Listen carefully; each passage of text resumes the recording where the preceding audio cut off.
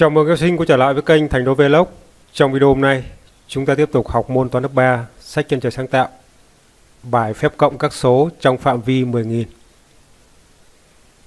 Rồi cụ thể, các em đặt tính và thực hiện phép tính 1421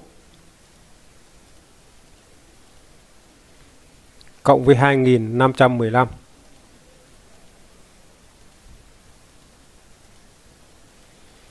đặt tính và tính như cộng các số có 3 chữ số. Khi các em đặt tính thì các em lưu ý các chữ số trong cùng một hàng phải thẳng cột với nhau. Và chúng ta cộng theo thứ tự từ bên phải sang bên trái. Rồi, trước hết là các em lấy 1 cộng 5 bằng 6, viết 6. 2 cộng 1 bằng 3, viết 3. 4 cộng 5 bằng 9, viết 9. 1 cộng 2 bằng 3, viết 3. Vậy 1421 cộng với 2515 bằng 3936 thì đây là phép cộng. Các số có 4 chữ số. Và phép cộng này là phép cộng không nhớ.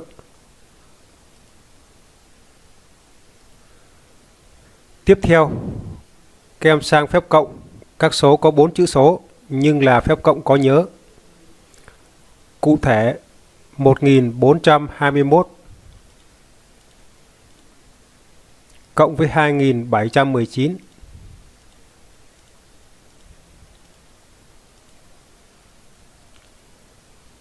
Rồi. Kem cộng từ bên phải sang bên trái. 1 cộng 9 bằng 10. Viết 0, nhớ 1. 2 cộng 1 bằng 3. Thêm 1 bằng 4. Viết 4.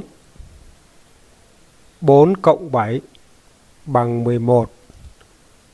Viết 1, nhớ 1. 1 cộng 2 bằng 3. Thêm 1 bằng 4. Viết 4. Vậy 1421 cộng với 2719 bằng 4140. Thì đây là phép cộng có nhớ.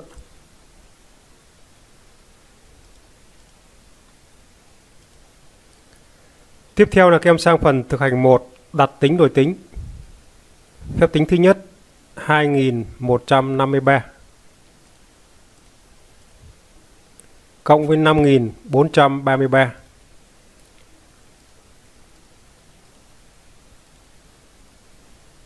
Rồi các em cộng từ bên phải sang bên trái.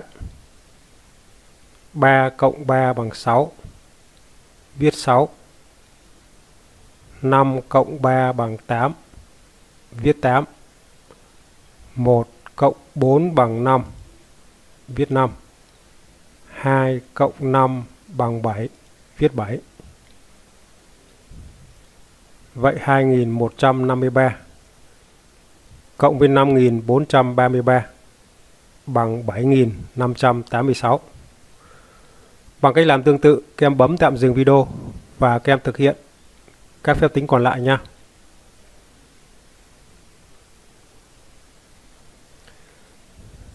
Tiếp theo là 1675 cộng với 3309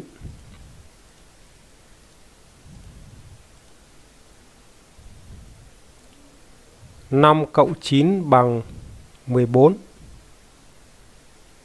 Viết 4 nhớ 1 7 cộng 0 bằng 7. Thêm 1 bằng 8. Viết 8. 6 cộng 3 bằng 9. Viết 9. 1 cộng 3 bằng 4. Viết 4.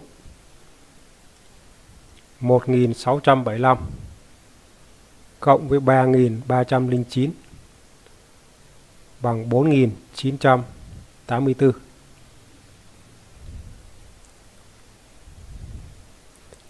6.722 cộng với 966. À số này nó không có chữ số hàng nghìn. Vậy 900 thì các em phải viết thẳng cột với hàng trăm. 900 viết thẳng cột với 700. 60 viết thẳng cột với 20. 6 đơn vị viết thẳng cột với hai đơn vị. 2 cộng 6 bằng 8. 2 cộng 6 bằng 8. 7 cộng 9 bằng 16. Viết 6 nhớ 1. 6 thêm 1 bằng 7. 7688. 6722 cộng với 966 bằng 7000 688.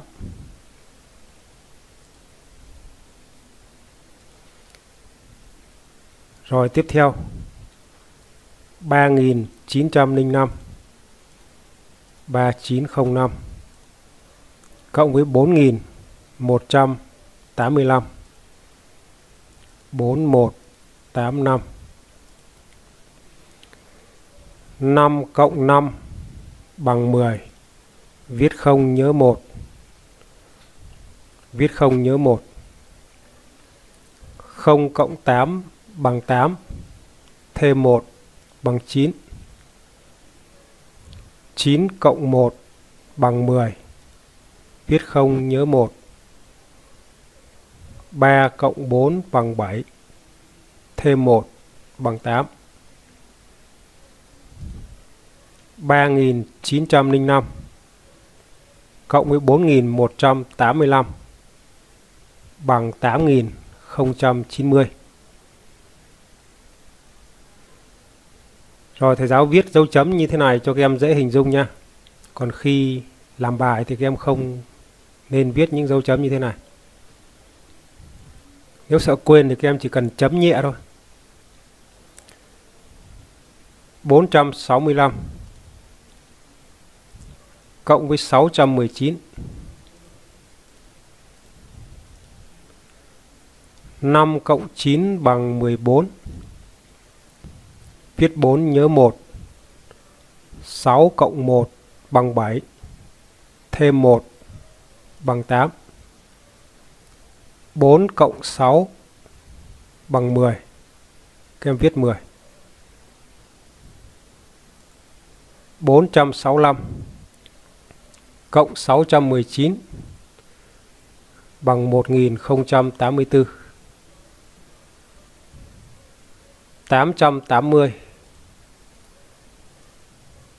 cộng với 7077. À số 880 thì nó không có chữ số hàng nghìn. Cho nên 7000 thì các em viết thẳng cột với cột trống này. 000 các em viết thẳng cột với 800. 70 các em viết thẳng cột với 80. 7 đơn vị các em viết thẳng cột với 0 đơn vị. 0 cộng 7 bằng 7. 8 cộng 7 bằng 15. Viết 5 nhớ 1. 8 cộng 0 bằng 8. Thêm 1 bằng 9. 7 hạ xuống. 880 cộng với 7077 bằng 7957. Tiếp theo là các em sang phần luyện tập 1. Các em điền số thích hợp vào các ô trống này. Ở đây chúng ta có mẫu này. Số hạng là 1180. Số hạng là 458. Muốn tính tổng thì các em lấy hai số hạng cộng với nhau. Ta được là 1638. Theo mẫu, sang cột tiếp theo Số hạng là 458. Số hạng là 1180.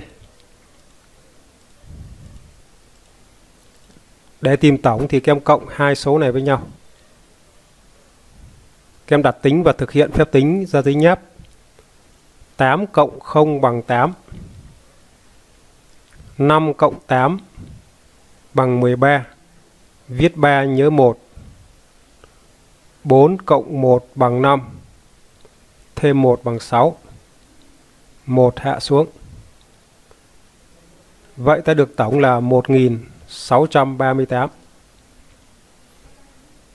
Bằng cách làm tương tự, các em bấm tạm dừng video và các em tìm các số còn lại. Rồi tiếp theo, sang cột này, thì các em lấy 3268 cộng với 1523.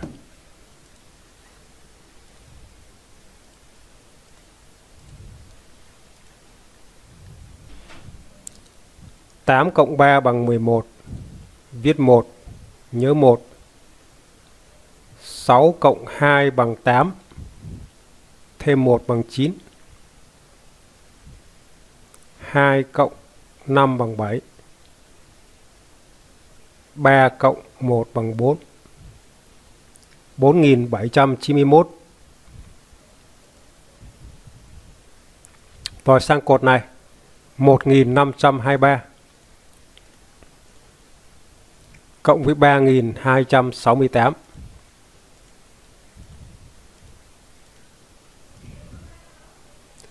ba cộng tám bằng mười một, Viết một nhớ một. hai cộng sáu bằng tám, Thêm một bằng chín. năm cộng hai bằng bảy. một cộng ba bằng bốn.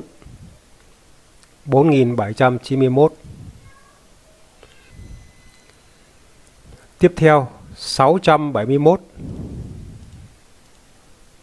cộng với 225. 1 cộng 5 bằng 6. 7 cộng 2 bằng 9. 6 cộng 2 bằng 8. 896.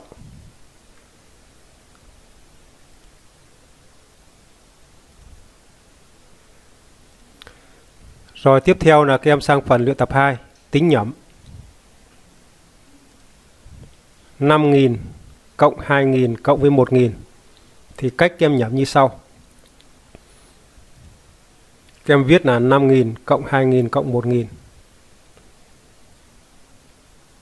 Các em lấy 5 cộng 2 cộng 1 bằng 8.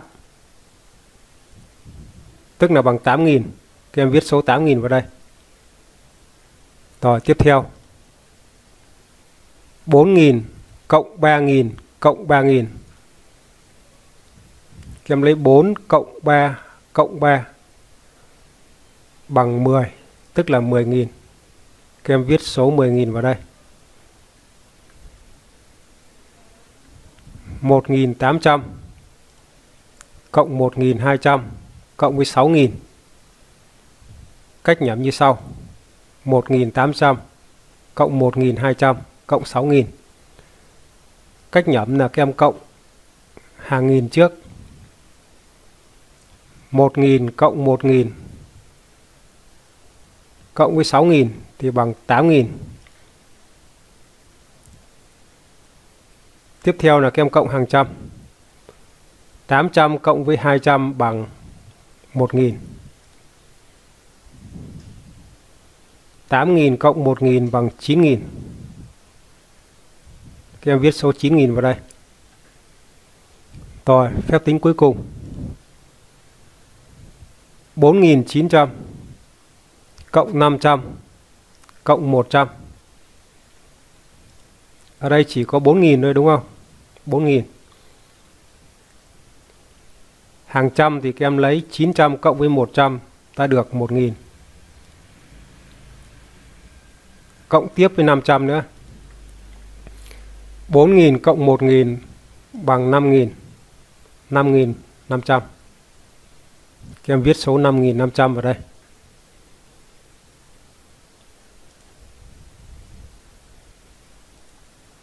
Tiếp theo là các em sang phần luyện tập 3.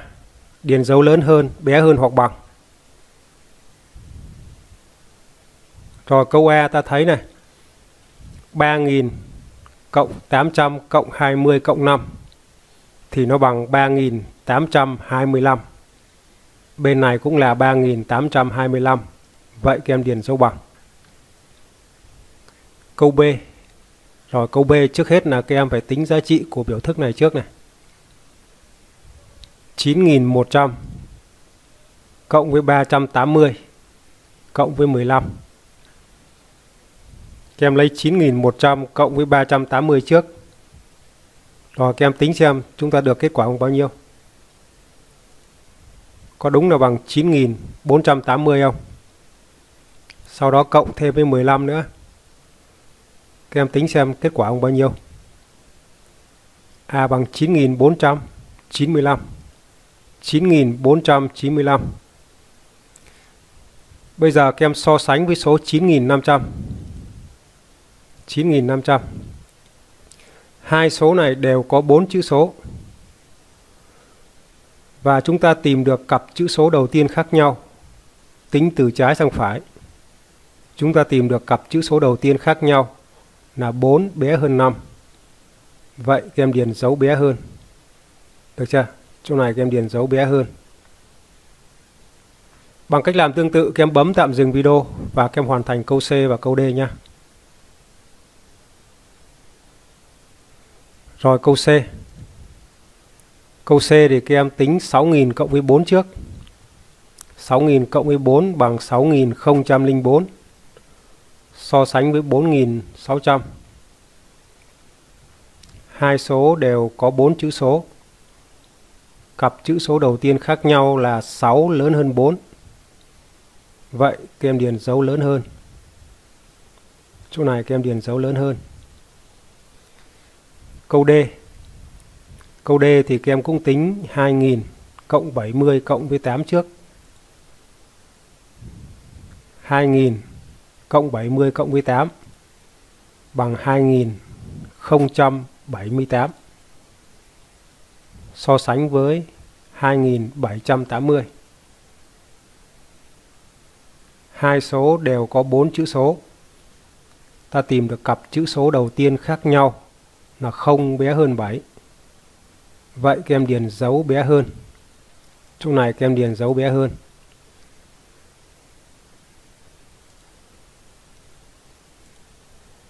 Luyện tập 4. Gia đình bác Tám thu hoạch măng cụt và xoài. Măng cụt cân được 2.320 kg. Măng cụt cân được 2.320 kg. 320 kg Khối lượng xoài nhiều hơn măng cụt là 520 kg. Xoài nhiều hơn thì các em thể hiện bằng đoạn thẳng dài hơn. Đoạn thẳng dài hơn thì đây chính là phần dài hơn này, được chưa cụ thể cái phần dài hơn này nó ứng với phần nhiều hơn, tức là nó ứng với giá trị là 520 kg hỏi gia đình bác Tám thu hoạch được tất cả bao nhiêu kg măng cụt và xoài tức là các em phải tính tất cả cái chỗ này các em cộng lại này xem tất cả là bao nhiêu kg muốn tính tất cả thì các em lấy các em lấy khối lượng măng cụt cộng với khối lượng xoài. Khối lượng măng cụt chúng ta biết rồi. Khối lượng xoài chưa biết. Vậy, các em sẽ giải bài toán này bằng hai bước tính. Bước tính 1 là các em tính khối lượng xoài. Bước tính 2 là các em cộng lại, tính tất cả. Rồi, các em sẽ giải bài này như sau. Bước 1 là các em tính khối lượng xoài.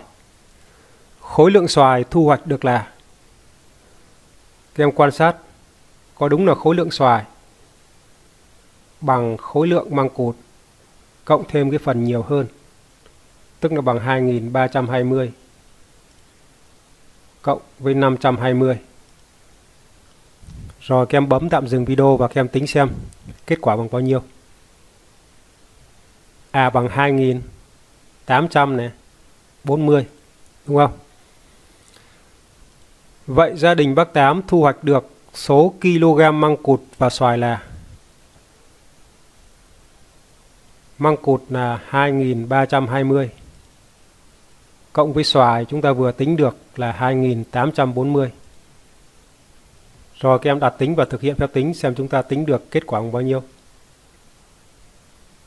à có đúng là bằng 5160 không 5160 kg rồi đáp số 5.160 kg măng cụt và xoài. Tiếp theo là các em sang phần luyện tập 5. Các em điền số thích hợp vào chỗ chấm. Các quan sát hình ảnh sơ đồ. Quãng đường từ thành phố Hồ Chí Minh đến thị xã Sapa đi qua thủ đô Hà Nội dài bao nhiêu km? Rồi, từ thành phố Hồ Chí Minh đến thủ đô Hà Nội là 1.726 km. Sau đó từ thủ đô Hà Nội đến thị xã Sapa, tỉnh Lào Cai, dài 320 km. Vậy quãng đường từ thành phố Hồ Chí Minh đến thị xã Sapa, đi qua thủ đô Hà Nội, thì các em lấy hai quãng đường này các em cộng lại với nhau. Được chưa? Các em lấy 1726 này, cộng với 320 này. 6 cộng 0 bằng 6. 2 cộng 2 bằng 4 này. 7 cộng 3 bằng 10. Viết 0 nhớ 1. 1 thêm 1 bằng 2. Tức là dài 2046 km.